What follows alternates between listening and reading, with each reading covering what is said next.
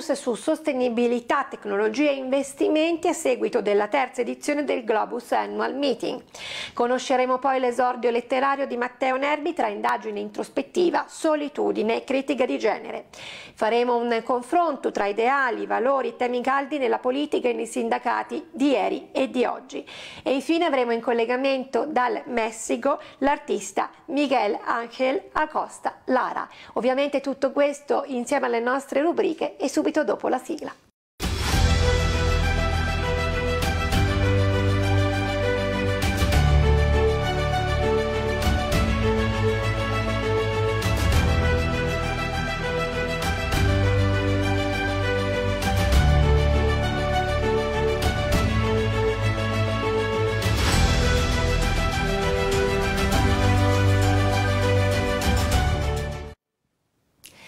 Eccoci con una nuova puntata di Ipsofatto, l'Italia si racconta, un ben ritrovato a tutti voi che ci seguite, un ben trovato alla prima ospite di questa puntata, l'avvocato Ilenia Lombardi, a cui do subito il benvenuto, vicepresidentessa tra l'altro di Globus. Buongiorno Ilenia, ben trovata.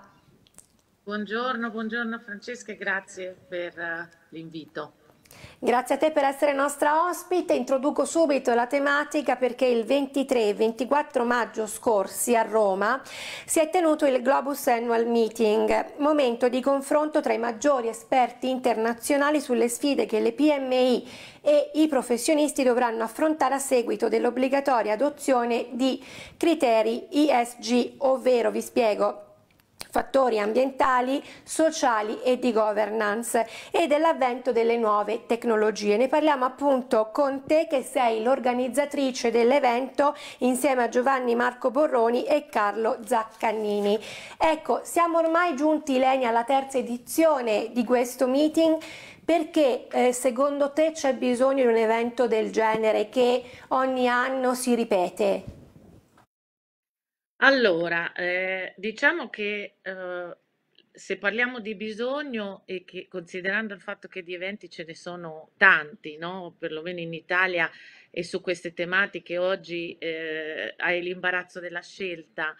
Eh, quindi il perché noi mh, mm, come Globus eh, nasciamo eh, nel 2018, è un'associazione iscritta e registrata a Bruxelles di professionisti. Professionisti quindi trasversali sia in termini di competenze ma anche in termini di provenienze eh, geografiche, io direi anche giurisdizionali, perché poi eh, il, il, core iniziale è uno spin-off di avvocati eh, di varie giurisdizioni che ha eh, lasciato una precedente piattaforma per creare un nuovo progetto perché eh, non concordavamo certi approcci, eh, soprattutto da un punto di vista etico, professionale, quindi e abbiamo iniziato con Globus, però Globus non voleva essere solo un'associazione di avvocati, bensì di professionisti che eh, con il pretesto noi abbiamo proprio nostra, nel nostro programma per conoscerci meglio, per scambiare eh, esperienze, idee e anche per confrontarci su tematiche attuali che sono eh, trasversali anche a livello di giurisdizione, abbiamo questo appuntamento annuale eh, su, eh, e ogni anno selezioniamo poi la sede del, dell'evento per l'anno successivo. L'anno scorso è stata Atene, quest'anno eh, si era deciso per l'Italia. Roma, eh, in quanto eh, diciamo città baricentrica anche da un punto di vista logistico per eh, chi veniva dalle, dall'estero, quindi per motivi proprio eh, logistici appunto, e quindi ci siamo trovati eh, a Roma per il, il 2024. E avendo l'onere io di organizzare questo evento insieme ai miei diciamo, partner roma, italiani, quindi Carlo Zaccagnini che è basato su Roma, mentre Giovanni Marco Boroni è qui anche lui su Ancona e Milano, eh, abbiamo voluto uh, restare diciamo sulla scia di tematiche che sono eh, al momento critiche un po' per tutti, critiche da un punto di vista di difficoltà di approccio per quanto riguarda soprattutto il tema della riportistica ISG e interessanti perché comunque eh, l'approccio alle nuove tecnologie che eh, ormai pervade no, la vita della persona del singolo piuttosto che dell'azienda, piuttosto che del professionista va- nelle varie applicazioni, è una cosa che non si può ignorare. Assolutamente Lenia, non si può più ignorare, è una bella sfida ed è una criticità allo stesso tempo. Eh, sono stati quattro i panel, come si è articolato il tutto e che cosa è emerso? So anche che a Roma insomma sono arrivati tanti relatori da nazionalità eh, differenti e con ruoli differenti. Raccontaci un po' quali sono i dati eh, salienti che sono emersi da questi giorni. Sì, dunque i panel eh, della mattina hanno si- eh, riguardato, partendo con il, il panel degli investimenti, poi siamo passati appunto al, al- al panel delle nuove tecnologie e il pomeriggio eh, ci siamo divisi invece i lavori eh, tra eh, il dottor Borroni che ha eh, moderato il panel appunto della ESG reporting e io che ho chiuso con quello delle eh, della sostenibilità nel mondo delle costruzioni perché è un tema a, a me particolarmente caro, diciamo. E, mh, quello che eh, la sintesi che poi ho, ho, fatto in due parole, perché siamo riusciti a chiudere, è stata una giornata impegnativa, ma siamo riusciti a chiudere nei tempi che ci eravamo dati miracolosamente, è stato proprio questo, cioè l'importanza eh, a tutti i livelli e, e, nei, e nei diversi ambiti di competenza di un flusso di informazioni costante e eh, attendibile. Perché poi è questo uh, lo strumento attraverso il quale implementare eh, e eh, implementare appunto eh, canoni eh, che sono di nuova applicazione e che permetterebbero uh, un approccio uh, in linea con quelli che sono appunto i, i, i dettami eh, che la sostenibilità oggi ci impone, declinando sia i, i, i vari goal e degli obiettivi sviluppati dalle Nazioni Unite che poi entrando nell'ambito specifico della reportistica eh, nuova, la nuova normativa che sta elaborando uh, l'Unione Europea in questo, in questo, ambito appunto. Quindi è eh, fondamentale eh, il flusso informativo, un flusso informativo costante e soprattutto di qualità, ecco, utilizzo questo, questo termine.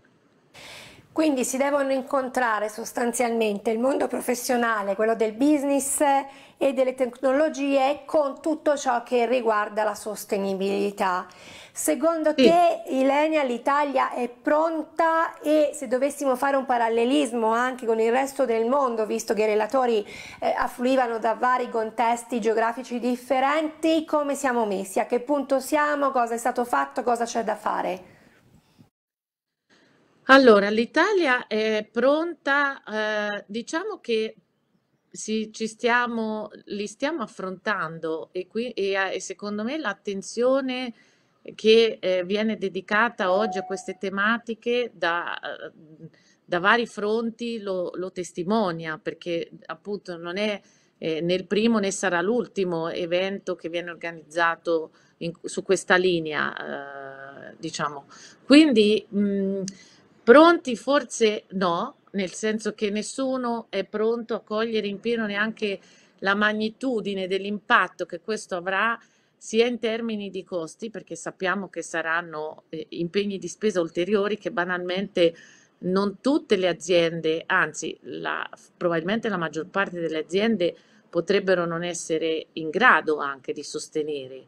Una, la domanda provocatoria che ho posto io all'inizio in apertura è stata proprio questa, come possiamo noi come professionisti che assistiamo aziende e che aziende che operano nei mercati internazionali, perché questo facciamo, come possiamo aiutarli ad affrontare la sostenibilità in modo che la, non diventi un peso o un onere insostenibile. Questo è il rischio.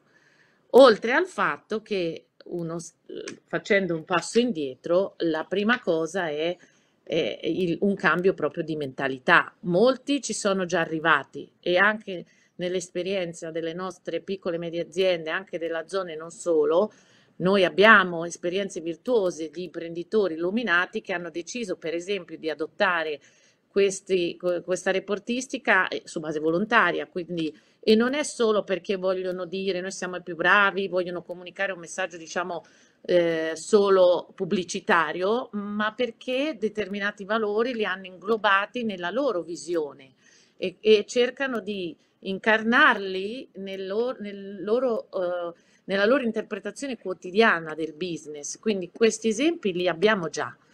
Ah, abbiamo però anche una casistica di molti altri che non vedono proprio l'utilità, eh, che vedono ancora eh, queste tematiche come un qualcosa di fashion, fashionable, che adesso va di moda, ma che poi, come tutte le cose di moda, prima o poi passerà. Ecco, questa è un po' eh, la difficoltà. Sì, certo, è proprio il cambio di mindset, di paradigma, che poi è una parola che io mi trovo a ripetere in ogni puntata, qualsiasi argomento sostanzialmente si vada ad affrontare se siamo in, in questo ambito e, e ti esatto. dico, mi è piaciuto molto eh, questo spunto di riflessione, è la prima volta che mi capita, eh, di eh, sostenibilità e qualcosa che non diventi insostenibile ai fini della sostenibilità, quindi dobbiamo lavorare, per cui eh, c'è ancora da fare, però eh, diciamo che c'è un work in progress, Ilenia, mi esatto. sembra di capire, quindi eh, immagino poi incomincerete a lavorare anche già su quella che è la quarta edizione, quale sarà anche la nuova città da proporre, giusto? Esatto, sì. Sappiamo che sarà Lisbona, e, e adesso inizieremo a confrontarci sui contenuti, certamente. E allora buon lavoro, Lisbona è una città tra l'altro che io amo particolarmente, sul mare, meravigliosa. E, e quindi insomma eh, buon lavoro perché c'è tanto da fare, sembrano tanti 12 mesi ma in realtà quando gli argomenti sono così eh, numerosi e delicati bisogna partire per tempo. Grazie ancora a te Ilenia, all'avvocato Ilenia Lombardi, grazie, grazie, grazie. e ora invece appuntamento con il nostro angolo di cronaca rosa.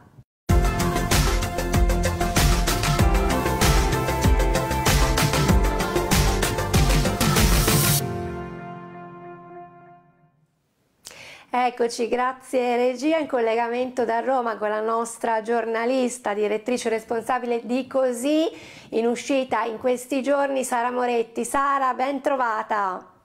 Buongiorno, buongiorno a tutti. Buongiorno a te, raccontaci un po' le novità e lo facciamo con la cover in sovraimpressione, così possiamo vedere anche questa nuova uscita di Così insieme. In copertina tornano... Eh, i, eh, diciamo, eh, i, discendenti della famiglia reale, eh, abbiamo Re Carlo, Meghan, il figlio Harry, se ne parla tantissimo in questo periodo, sappiamo che non versano in un momento facile per condizioni di salute, oltre che per, per querelle già note da prima familiari. Raccontaci Sara. Sì, diciamo che in questo momento la, la monarchia non sta vivendo un periodo roseo, ovviamente, e in primis c'è la malattia del Re Carlo che sappiamo tutti ormai essere malato di tumore, così come ha annunciato da qualche settimana ormai anche la principessa Kate Middleton e appunto anche lei purtroppo ha lo stesso destino del sovrano.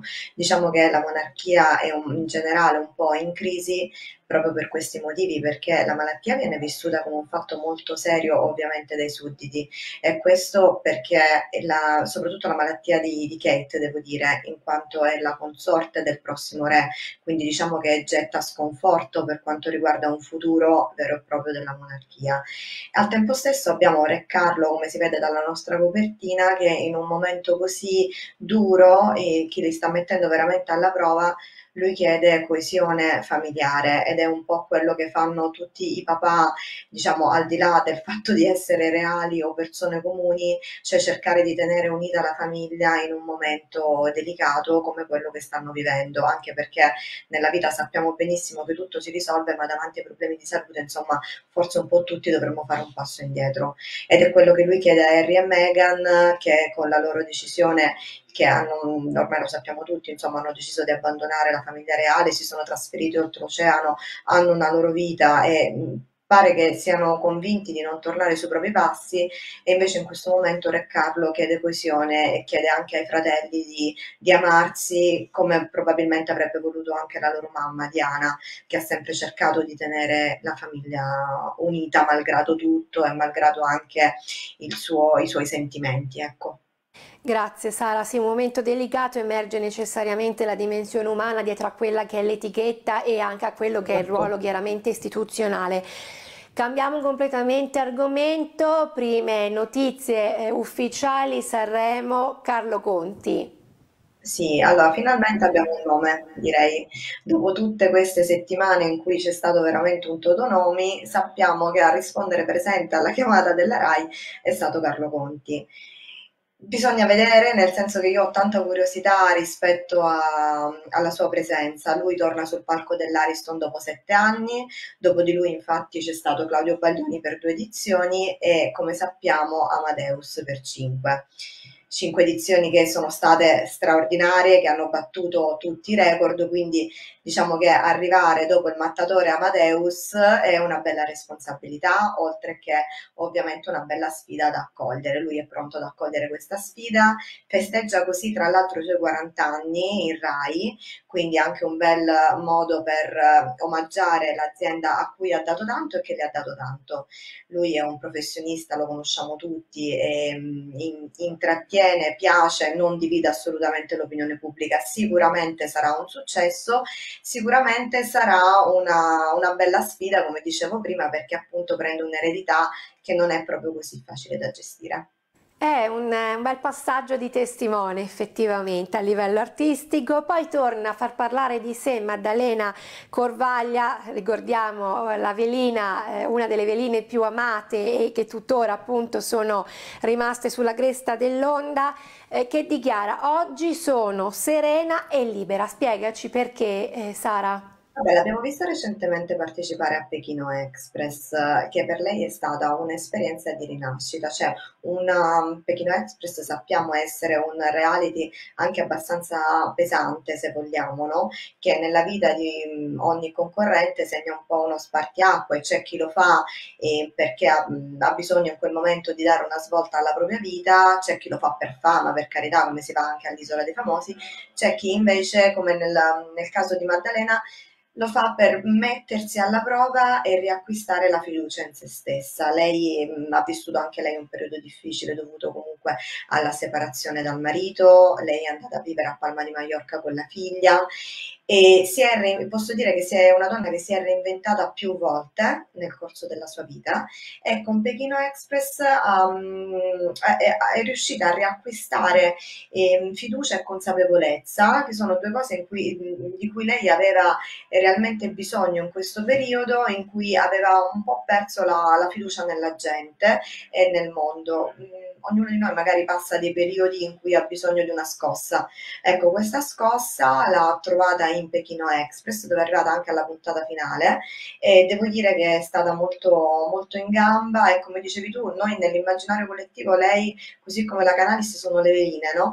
In realtà mh, lei è molto di più, una donna che, come dicevo prima, si è rimboccata le maniche tante volte e con questa esperienza, insomma, ha dato modo, ha dimostrato di avere veramente un bel carattere. Sara, un'ultima domanda per te, eh, la, come dire, la celeberrima Sharon Stone, così mi ha cambiato l'ictus e sappiamo che ha attraversato questo periodo delicato eh, della sua vita, ecco che dichiarazione ha rilasciato oggi? Allora, era il 2001 quando lei è stata colpita da un ictus. Come sappiamo, quando una patologia del genere si verifica nella vita di ognuno di noi, insomma, non è il, il, recupero non è proprio immediato, cioè ci sono casi fortunati e casi meno fortunati. Per lei il recupero completo è arrivato dopo sette anni e nel mondo dello showbiz, ancora di più nel mondo di Hollywood, sette anni sono tanti perché sappiamo che nasce una stella e muore poco dopo rimpiazzata da qualcun altro. Ecco, lei si sentiva di non essere più al passo con i tempi. Allora, che ha fatto? Non si è arresa, ha fatto pace con se stessa, ha accettato il fatto di essere cambiata a causa di un evento che non ha scelto, ovviamente, ma si è reinventata, è tornata a splendere, brillando di luce propria e mm, dipingendo. Lei fa la pittrice, mm, tra l'altro la sua prima opera è stata anche venduta per 30.000 dollari, quindi insomma una, una cifra importante. Lei trascorre le sue giornate così e, ed ecco, è in questo modo che l'ha cambiata l'ictus, cioè una maggiore consapevolezza e gratitudine anche nei confronti della vita, ma anche il um, saper accettare e lasciare andare quello che, di cui non si può più, diciamo, non si può più gestire a causa, ripeto, di un problema che lei comunque non ha scelto, ma al tempo stesso reinventarsi e trovare un nuovo motivo per vivere, trascorrere le sue giornate davanti a una tela bianca che poi prende eh, le forme, le dimensioni e i colori di tutto quello che ha dentro e riesce a trasmettere a chi poi acquista i suoi dipinti. Beh, quando si dice la resilienza, la capacità di rimodularsi a seconda di quello che la vita ti dà o ti toglie. Sara, grazie per questo tuo intervento. Grazie quando parliamo di cronaca rosa, grazie davvero e ci vediamo al prossimo appuntamento, alla prossima uscita. Esatto. Ok? Grazie ancora alla giornalista Sara Moretti, grazie, grazie, grazie. E ora cambiamo argomento, l'autore carrarese Matteo Nerbi ha esordito sul panorama editoriale con Utrum e altri racconti di voce narrante, edizioni GFE di Roma, ricevendo con il racconto dal titolo Il fantastico mondo di Zic il primo premio premio nella categoria all'interno del concorso letterario di poesia e narrativa Gianni Di Benedetto e Piero Franzosa, settima edizione 2024 e classificandosi anche al quinto posto al quarto premio internazionale Dostoevsky nella sezione romanzo inedito o raccolta di racconti. Ce l'abbiamo in collegamento dalla Toscana, do subito il benvenuto anche a Matteo eh, Nerbi. Buongiorno Matteo, ben trovato eh, qui su Canale Europa TV. Buongiorno a tutti. A te come nasce l'idea di questo libro? Tu che nella vita non l'ho detto, ma sei, sei, un avvocato civilista, tra l'altro, anche la prima ospite è un avvocato, una tua collega, però c'è questa scrittura che ti accompagna e non solo, lo vedremo magari eh, dopo. Come nasce questa idea?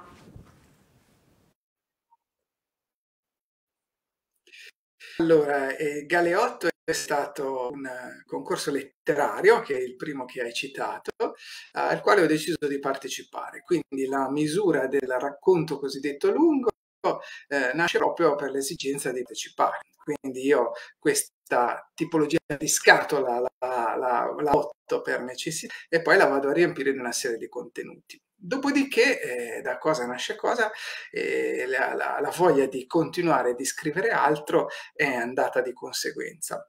A quel punto mi è venuta l'idea di fare una raccolta che fosse un compendio di vari racconti lunghi, con panoramiche completamente diverse tra loro, contestualizzazioni completamente differenti e tuttavia con serie di minimi comuni denominatori che potessero sia diciamo il cuore contenutistico della raccolta bagnata anche da delle ricorrenti eh, quali espedienti letterari ben precisi.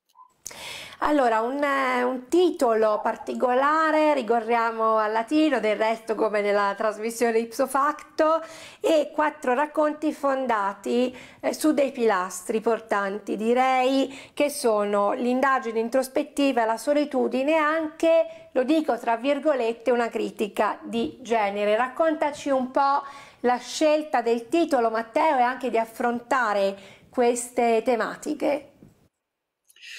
Allora, il titolo che è innanzitutto il titolo di uno dei racconti e poi da lì è diventato, è stato scelto da me anche come titolo dell'intera raccolta. E in, entrambe le diciamo, situazioni ha eh, un significato importante, diciamo, racchiude un po' in sé il cuore del significato, seppure in accezione completamente diversa.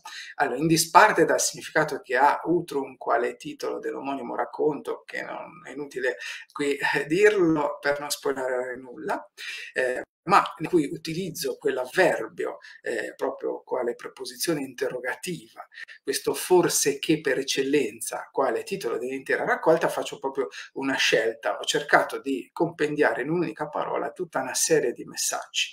Quindi questo forse che per eccellenza è un po' per me l'umiltà del dubbio, cioè il dubbio quale modalità di approccio alla vita nel rapportarsi sia con noi stessi e quindi l'indagine introspettiva, sia nel rapporto con gli altri che devono essere come tali visti più che come gli altri, cioè come i diversi, qualcosa che sta al di fuori di noi, un po' come il nostro prossimo.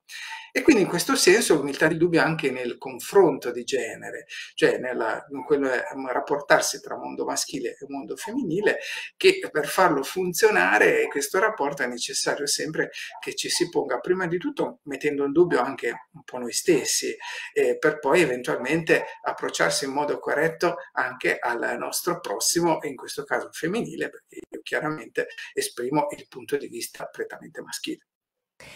E poi c'è la voce narrante, del resto lo capiamo subito anche già dal titolo, no? E altri racconti di voce narrante. Ecco, questa cosa mi incuriosisce tantissimo. Chi è voce narrante? Allora, l'idea di voce narrante nasce un po' per necessità e un po' per caso. Un po' per necessità perché io chiaramente mi sono detto devi riuscire ad avere qualche elemento di originalità che fosse di natura prettamente stilistica.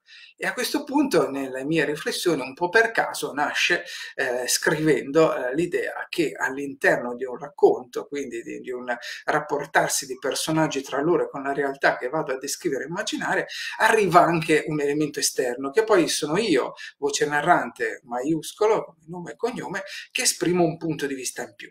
Mi è venuto quindi spontaneo, mi è piaciuto, ho continuato a usarlo, eh, però il suo significato proprio l'ho compreso solo in un momento successivo.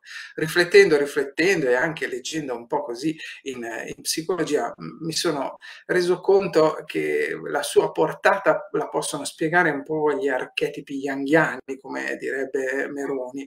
Ecco, Voce narrante alla fine è un qualcosa in più che completa la riflessione di, dei personaggi stessi più che poi dell'autore, cioè è la faccia interna della maschera, una maschera intesa proprio come maschera dell'attore in teatro, quindi maschera del personaggio che deve indossare nel rapportarsi con gli altri, quindi nella difficoltà di dover sostenere i fenomeni del gregarismo adattivo, e la faccia interna che però si rapporta con l'io psicologico, con l'anima, quindi in questa conflittualità in questa riflessione interiore che si rapporta al lettore come se fosse di monologo e in pausa del racconto tra il personaggio e il lettore stesso. Ecco, tutto questo per dire che da lì ho compreso che in realtà voce narrante, quando parla anche introspettivamente dei propri personaggi, dimostra come ci sia l'autore stesso, cioè io, eh, ci sia all'interno di ognuno dei, dei personaggi un pochino nascosto e che lì emerge in quel momento di monologo.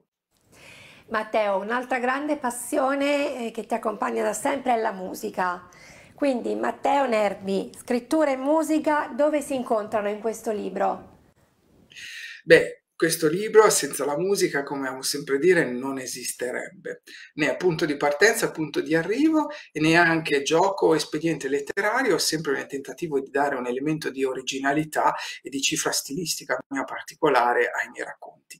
In quest'ultimo senso io uso, così l'ho definita, la metafora musicale, cioè in, in, questo dialogo introspettivo tra l'autore e i propri personaggi, che poi è fondamentalmente il cuore di ogni racconto, spesso io cerco di invocare un contesto musicale, un particolare brano musicale, che possa sfumare nella descrizione delle emozioni che io ho cercato di mettere in scena, emozioni, sentimenti e rapporti.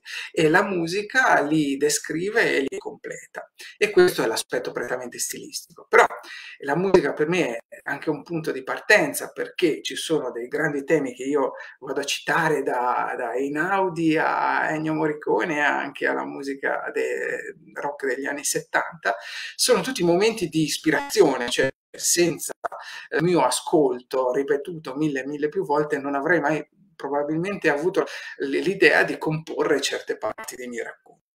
Punto di arrivo, perché eh, la musica per me alla fine è anche un momento di speranza, cioè quel momento che eh, permette a ciascuno di noi nel proprio bagaglio culturale di trovare gli stimoli per andare avanti.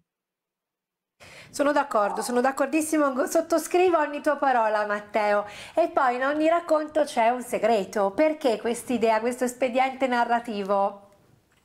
Allora, in questo caso, come qualcuno me li ha definiti i miei racconti, facendo il privilegio insomma, di recensioni letterarie, ogni racconto è costruito sullo schema di una sorta di microgiallo. Quindi il segreto mm, è necessario per incuriosire costruire una dinamica che porti il lettore dall'inizio ad avere, diciamo così, delle risposte sino in fondo per capire quale sia la conclusione.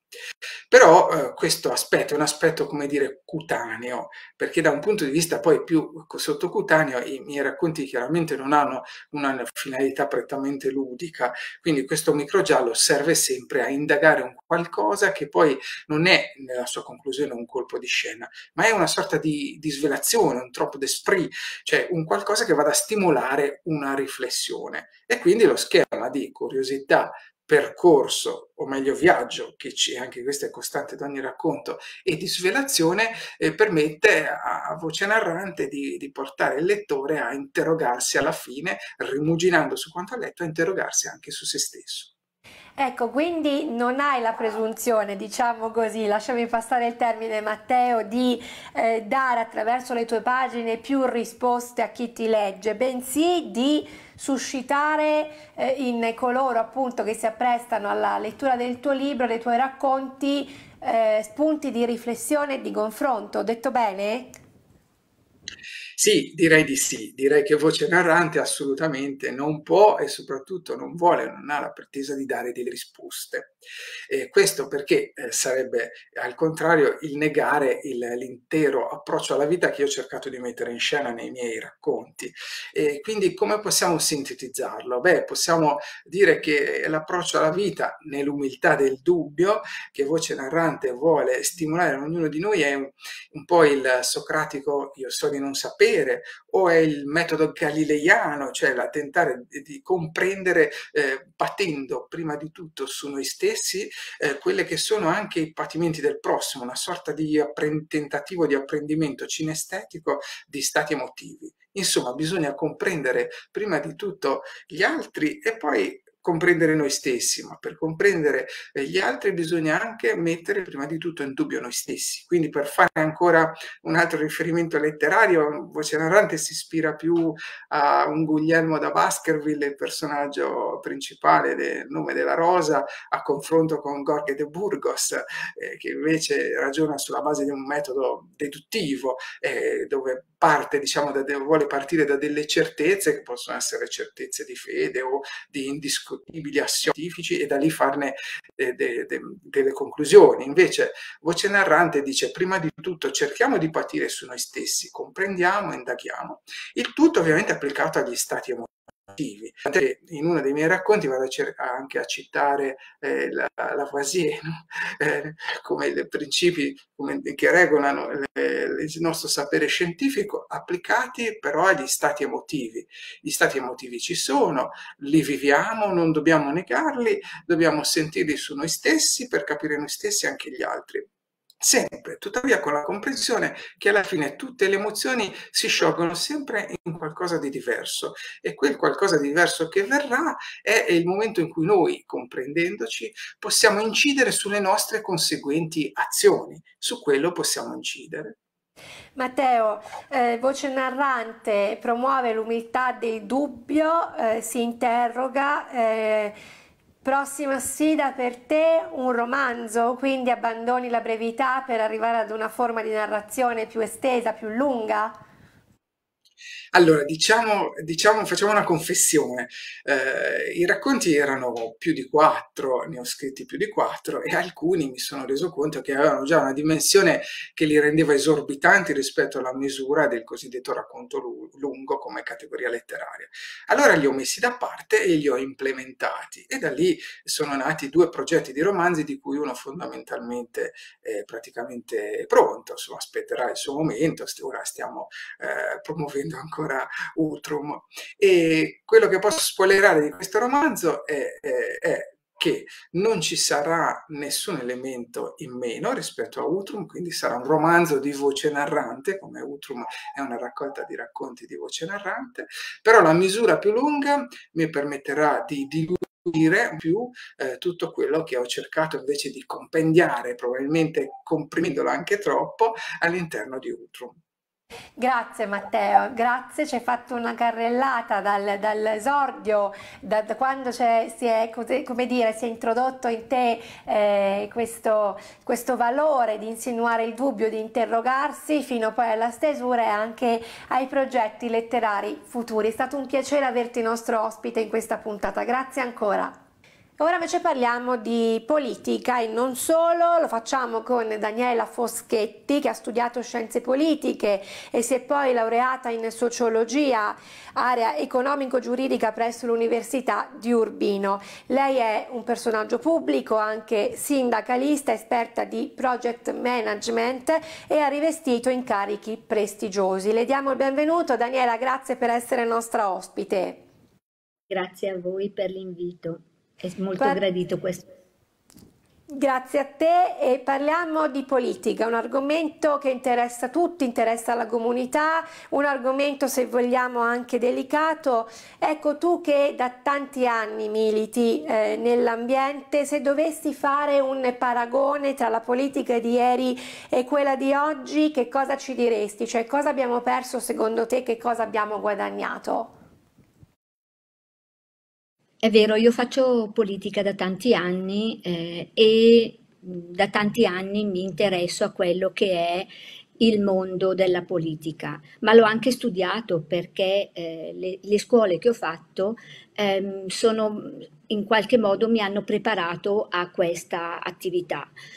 Devo dire che le regole della politica sono sempre state le stesse, non, non è che cambino nel tempo, e Machiavelli ce lo insegna, ma eh, ovviamente la politica deve adeguarsi a quelle che sono le nuove necessità del, della realtà che deve affrontare. Quindi non sono le regole che cambiano, ma è eh, diciamo l'impatto con la realtà che si è evoluta nel tempo in maniera esponenziale.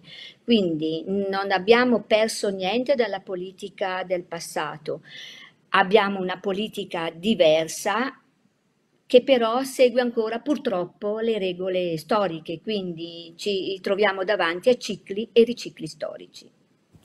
E Giambattista Vigo lo diceva del resto, eh, aveva ragione. E ti rivolgo la stessa domanda, Daniela, nell'ambito sindacale. Ecco, questo mondo eh, ha le stesse regole, valgono le stesse parole che hai espresso per la politica o è completamente qualcosa di differente? Sono le stesse regole ehm, ehm, ipotizzati in maniera diversa perché eh, ovviamente eh, l'attività sindacale è diversa da quella politica, ma le regole vengono studiate, vengono studiate all'università. Le relazioni industriali mi hanno imposto almeno tre esami in uh, sociologia. E come per la politica è l'attività sindacale che nel tempo si deve evolvere per non rimanere indietro rispetto al mondo che si evolve in maniera velocissima. Quindi la nostra attività sindacale è eh, improntata proprio al tentativo non di rincorrere la realtà che eh, cambia, ma di immaginare la realtà in modo tale da poterla gestire nelle trattative che facciamo con le aziende, col mondo del lavoro. Ovvio, io venendo da un'esperienza di un sindacato che è del sistema bancario, in quella ho sviluppato particolari eh, approfondimenti per poter essere ehm, ai passo col tempi che cambiano, anzi anticipare i tempi che cambiano se possibile. Quindi sono sempre le stesse le regole di base, però devono in qualche modo evolversi per allinearsi eh, e a volte anticipare quelle che sono le nuove eh, dinamiche della realtà che ci circonda. Tu oggi sei riferimento del coordinamento donne e pari opportunità. Qual è il progetto che hai portato avanti e che ti ha dato maggiore soddisfazione? Come coordinamento donne pari opportunità, nei diversi ruoli che ho ricoperto, nel tempo abbiamo portato avanti diversi progetti interessanti che non si sono limitati al mondo bancario, ma hanno sempre cercato di coinvolgere anche eh, il mondo del lavoro in generale, il mondo sociale, perché un partic- una particolare attenzione l'abbiamo sempre avuta per eh, particolari eh, soggetti, quindi il mondo della, della disabilità è un altro dei nostri temi caldi.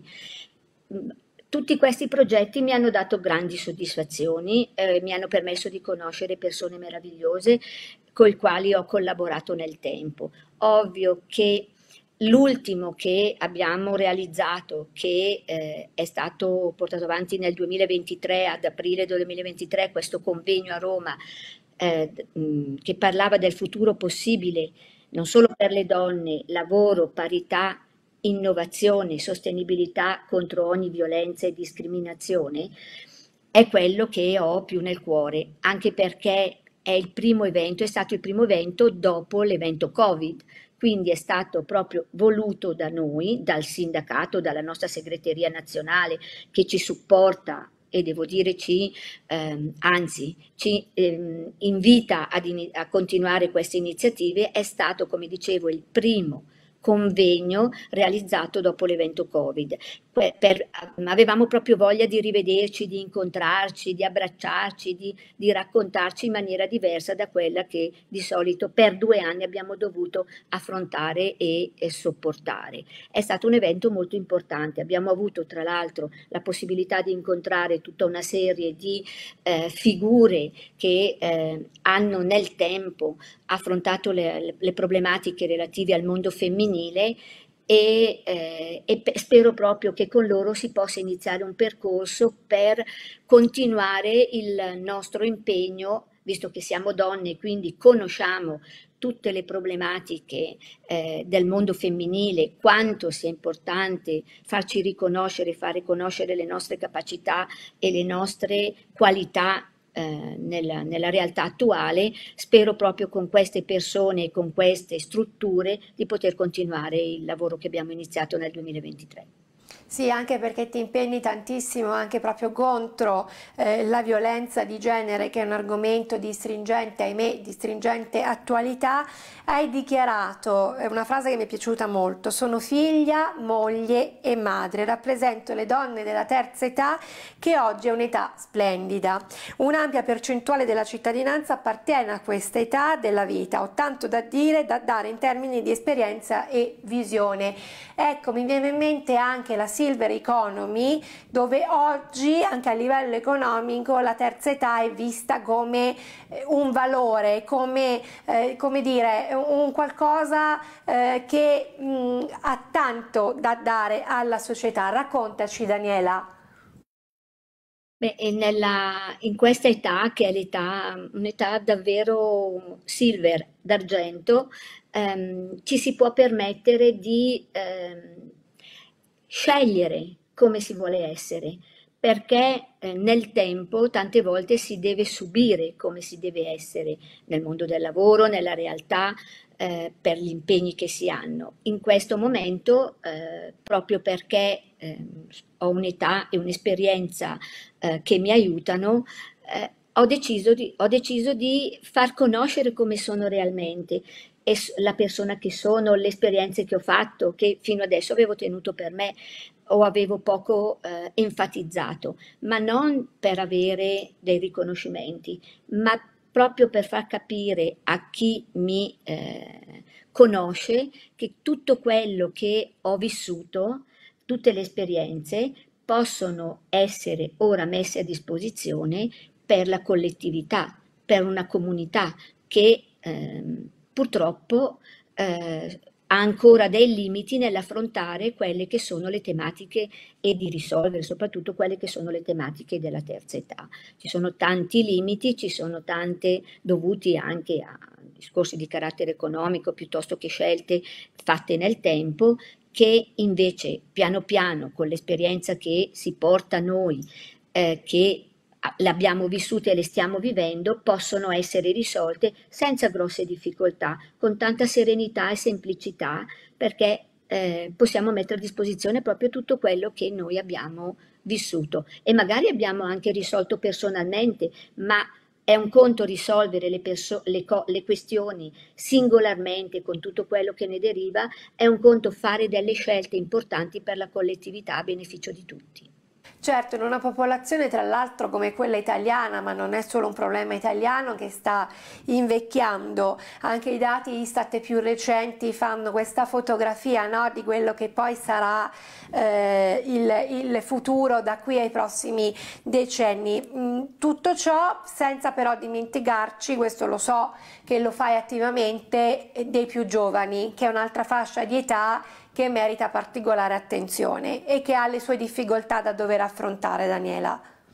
Sì, eh, e qui divento la sindacalista che è in me, metto a fuoco quelle che sono le eh, peculiarità della sindacalista. Nel mondo del lavoro eh, ci rendiamo conto di quanto sia eh, importante eh, dare la possibilità ai giovani di farsi conoscere e eh, far valere le proprie capacità e tutto quello che eh, la, la, loro voglia, la loro energia che noi Silver magari abbiamo un pochino limitata. Quindi noi eh, di questa fascia di età e an- dobbiamo impegnarci proprio perché chi ha voglia di fare, ha voglia di eh, dare, ha voglia di portare nella, nel quotidiano, nella vita del lavoro, e soprattutto i giovani che devono farsi un futuro, vengano aiutati. Mm, devo dire che io ho fatto un'esperienza proprio eh, sul questionario che ha mh, mm, ispirato l'evento Il futuro possibile. Ci siamo resi conto invece quanto i giovani ehm, abbiano ancora dei limiti nell'apprezzare alcune alcuni aiuti che possono avere da noi come eh, gente di esperienza. E ci delegano invece tante cose che dovrebbero imparare ad affrontare in prima persona.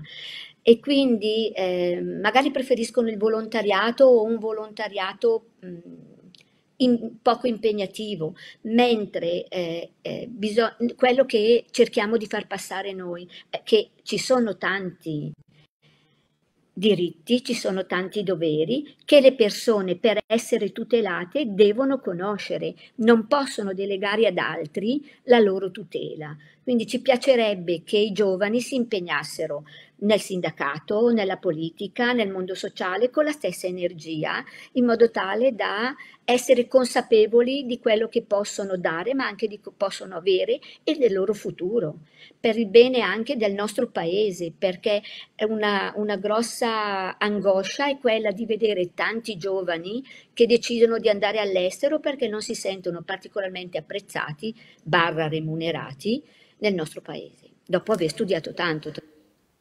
Dopo aver studiato tanto, eh, quella della fuga dei cervelli è una tematica eh, di altrettanta stringente attualità. Un'ultima domanda, un tema a te caro è quello della sicurezza. Ecco, in chiusura vorrei che tu spendessi due parole in questo senso, Daniela. Ah, la sicurezza è un tema ampissimo perché mh, la sicurezza è la, la, la necessità di sentirsi eh, tranquilli nel mondo in cui viviamo.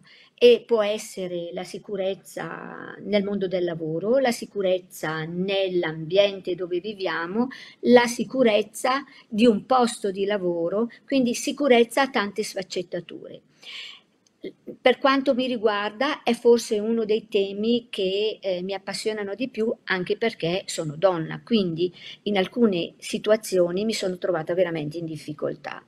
Eh, e come eh, molti di, di, noi si sente ancora in difficoltà quando eh, deve affrontare eh, alcuni eh, passaggi della vita. La sicurezza invece poi se si pensa al mondo dove abitiamo, nella, nella, nella, comunità dove viviamo, è data da questa sensazione di potersi muovere, di poter vivere, di poter realizzare eh, anche piccole cose senza il terrore, la preoccupazione di dover subire eh, particolari eh, comportamenti sgradevoli. Poi anche qui parlo da sindacalista, ri, ri, rimetto la giacchettina della sindacalista e anche qui vi dico nel mondo del lavoro avere la certezza di poter contare su regole certe che ti garantiscano sicurezza e che quindi eh, mettano in difficoltà chi può eh, creare delle, delle situazioni difficili da affrontare è molto e molto importante. Ci sono tante regole, le sappiamo, ci sono tanti buoni propositi, lo sappiamo, ma eh, sappiamo anche che quotidianamente eh, ci sono delle situazioni veramente pesanti e noi donne in particolare eh, siamo forse gli oggetti, non dico soggetti, gli oggetti di queste eh, scelte pesanti che poi mettono anche a difficoltà, la, tante volte mettono addirittura a repentaglio la vita delle persone. Quindi l'impegno è proprio quello di cercare di far passare non solo sulla carta, ma soprattutto nella realtà il concetto di tutela e di sicurezza a, a beneficio di Bisogna e... mettere in concreto nella quotidianità e un po' in tutti gli ambiti, mi sembra di aver capito con questa carrellata che abbiamo fatto insieme Daniela, un sano bilanciamento tra quelli che sono i diritti e i doveri in un impegno comune collettivo. Perfetto, hai sintetizzato praticamente tutta la, la, la nostra chiacchierata in Grazie a te che parole. invece sei entrata, seppure i tempi televisivi siano sempre tiranni, nello specifico di ogni tematica di cui ti ho eh, chiesto un'opinione. Daniela, grazie per essere stata nostra ospite in questa puntata. Grazie davvero per aver portato la tua esperienza lunga anni, anni e anni qui eh, da noi. Grazie ancora Daniela Foschetti a voi e grazie a te in particolare per la gentilezza. Grazie e buona giornata a tutti. Grazie altrettanto e adesso invece torna il nostro Valerio Vecchi con la sua rubrica Voci d'Italia. Sentiamo.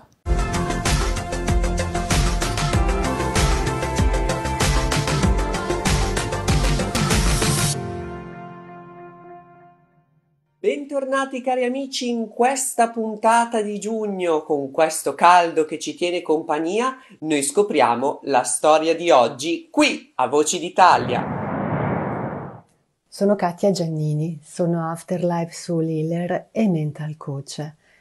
La mia quotidianità è un ponte fra la realtà di tutti i giorni e l'aldilà proprio perché il mio lavoro è quello di accompagnare le persone alla scoperta di se stesse, alla scoperta della loro missione e capire qual è il senso della vita, lo scopo e il senso della vita.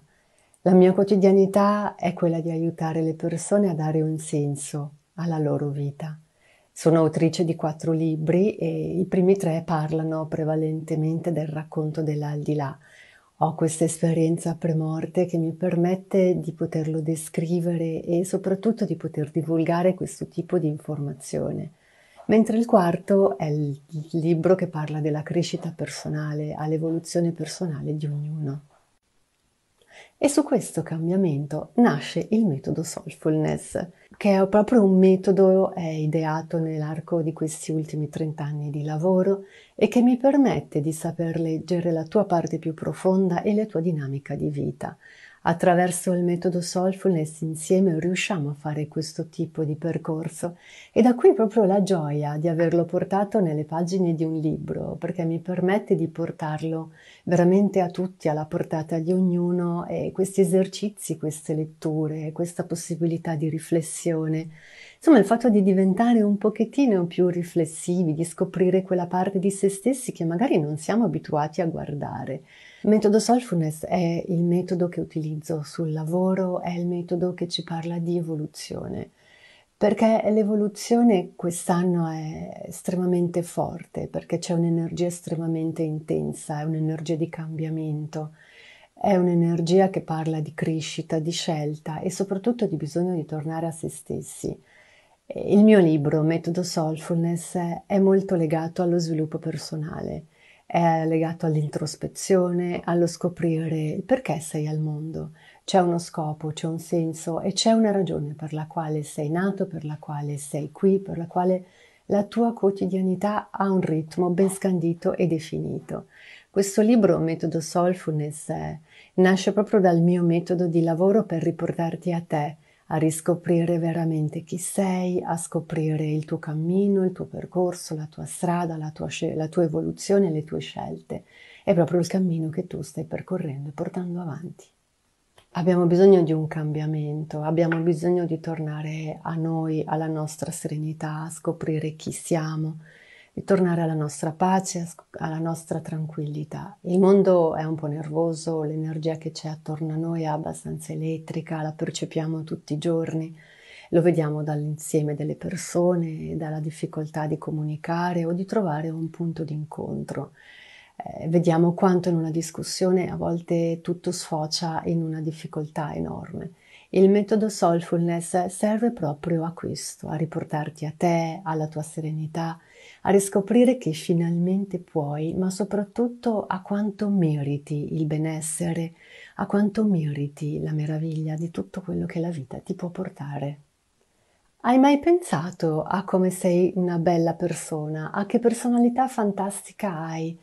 Ma come tante volte invece non riusciamo poi a essere noi stessi perché lo stress, la paura, tutto quello che non riusciamo a dire, la nostra incapacità di comunicare, quanto ci blocchiamo, la paura del giudizio, la paura delle conseguenze, di essere rifiutati, di non essere più amati.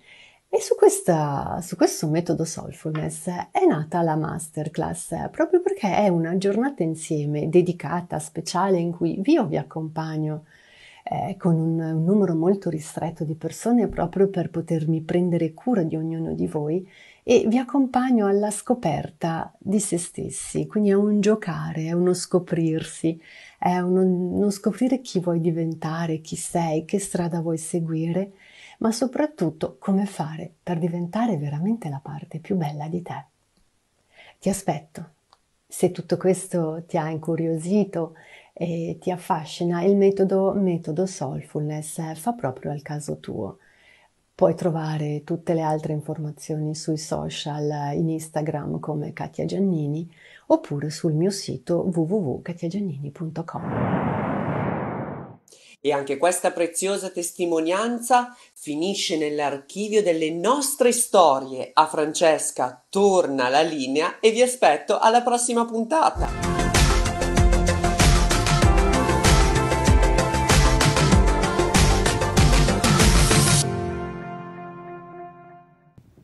L'ultimo ospite di questa puntata nel 2023 ha festeggiato 10 anni di carriera, è recensito e premiato in varie parti del mondo e oggi Miguel Ángel Acosta Lara è in collegamento per noi dal Messico. Miguel, benvenuto! Mille grazie mia carissima Francesca, siamo qui molto contento e per me un grande onore di stare in questo meraviglioso programma di televisione. Grazie a te e adesso ci spiegherai un po' di più della tua bellissima arte, come ti avvicini a questo mondo. E tutto inizia nel 1994 quando ho l'opportunità di lavorare con la versione 3.0 di Photoshop in questi momenti io ho aperto la mia mente a un mondo meraviglioso che significa Photoshop e con la sua manipolazione della immagine. E io lavoro per molti anni e nel 1910 ho aperto la prima pagina eh, web con la unica intenzione di pubblicitarmi come un insegnante di Photoshop ma la, la vita si trasforma in otra situazione e dopo di certo tempo gente di tutte parti del mondo mi scrive e mi dice Miguel la tua tecnica in Photoshop è meravigliosa ma di uguale forma molta gente mi scrive e mi dice Miguel tu sei un grande artista in, in questo momento è un momento molto importante nella mia vita perché è un momento di un shock emozionale, perché nunca, nunca io ho immaginato che la gente può vedere la mia opera come, come, un, come un vero arte. Credo che ese è il momento preciso nel che io mi incontro eh, con l'arte. Sì, e davvero tutto il mondo ti sta riconoscendo questo talento, quali sono i momenti più importanti della tua carriera? Perché io ho detto dieci anni nel 2023 in cui hai festeggiato, però le origini sono ancora più indietro nel tempo. Eh, quali sono i momenti più belli che, che ricordi, anche i premi che ricordi con maggiore orgoglio? Io penso che il momento más importante en la mia carrera artística è, è il potermi darmi cuenta che nunca è più tardi per iniziare l'incontro con l'arte, perché io inizio in questo meraviglioso mondo alla età di 51 anni e penso che è la lezione più importante della mia vita, che nunca è tardi per iniziare qualche progetto. È molto bello quello che hai detto, è, è, un bel consiglio, un bello stimolo che dai a tutti, non è mai troppo tardi per iniziare qualcosa. Senti, vediamo regia, vediamo insieme Miguel, vediamo un, un video con la tua arte, vediamolo.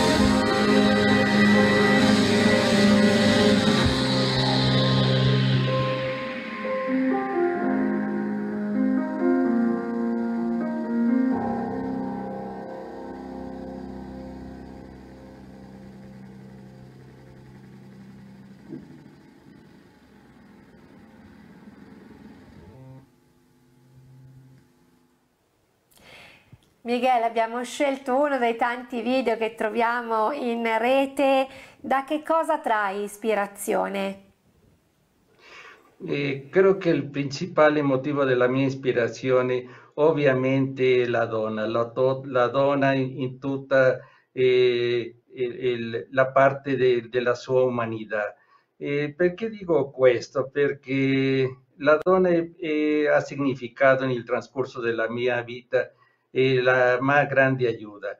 Yo recuerdo de muy piccolo que yo vado a vivir con, con una tía nonna de molti anni e questa tia mi ha, mi ha aperto la sua casa, mi, mi, ha criado como un vero hijo e in tutto il trascorso della mia vita sempre la donna eh, mi ha dato la mano in tutti gli aspetti.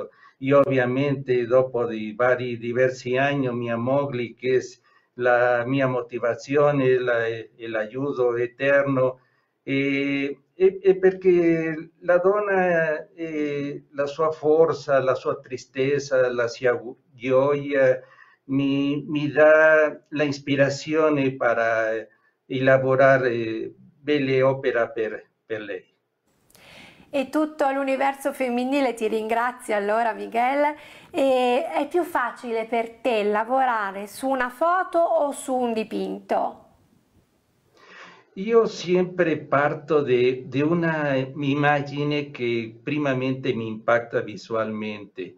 E questa immagine io la, la introduco al mio spazio di arte Photoshop y en este momento es cuando inicia todo el arte en la mia testa, porque en, este momento eh, la mia mente me sugiere eh, en, ipso facto qué debo de elaborar, qué efecto debo de introducir en la sua faccia, qué movimiento estético, eh, è un processo che si dà di, di 30 anni di lavoro, 30 anni di lavoro sperimentando, creando técnica y obviamente el arsenal de, de posibilidades que yo tengo eh, veramente es, es, es grandísima.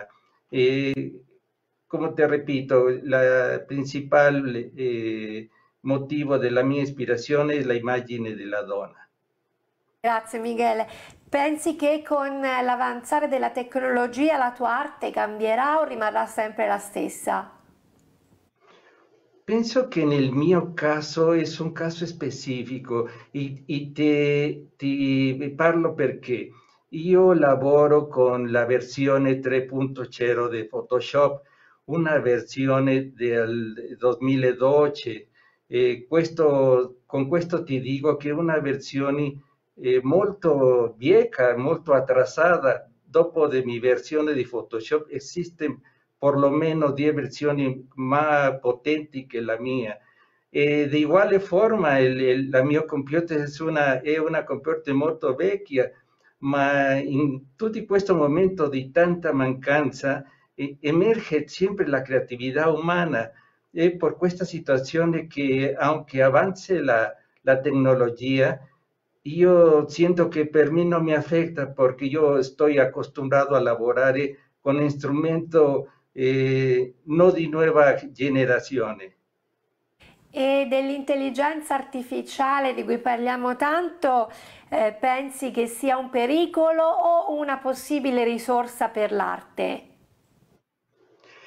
Eh, questa è una domanda molto interessante e, e, e ti dico perché.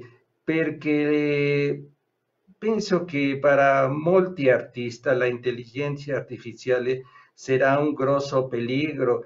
Eh, si el artista no ha desarrollado una técnica propia y no ha desarrollado eh, su, propio estilo, será en un serio peligro, porque no habrá la posibilidad de, de contender con la inteligencia artificial. Mas si el artista, como te repito, ha desarrollado una técnica, ha desarrollado un propio style, eh, la inteligencia artificial será como una herramienta eh, eh, per il desarrollo di de sua capacità. Chiarissimo, quindi non, deve, non corre pericoli se ha un proprio stile una propria tecnica. In quel caso potrà avere un vantaggio dall'intelligenza artificiale. Eh, Michele, c'è una domanda che vorresti che ti venisse fatta in un'intervista e che nessuno ad oggi ti ha mai fatto? Eh, io ti parlerei di un'esperienza che ha marcato la mia vita. Eh, come tu puoi vedere nella mia immagine esiste un simbolo che dice Mickey Max 44 in un momento della mia vita io ho pensato di lavorare un, un, un logotipo, un logotipo eh, che non rappresentara Michelangelo Acosta, sino che un logotipo di una persona X nel mondo, perché in questo momento io dudavo della mia capacità. Eh, io ho lavorato questo logotipo e dopo di diversi anni eh, la vida me ha enseñado que nunca debe uno de, dudar de la capacidad de uno. Eh, es por esas situaciones que el logo de Mickey Max 44 siempre estará presente en la mía ópera, porque tú el giorno mi recuerda, Miguel, nunca debe de dudar de la tua capacidad. Curiosa che ci hai raccontato Miguel, grazie.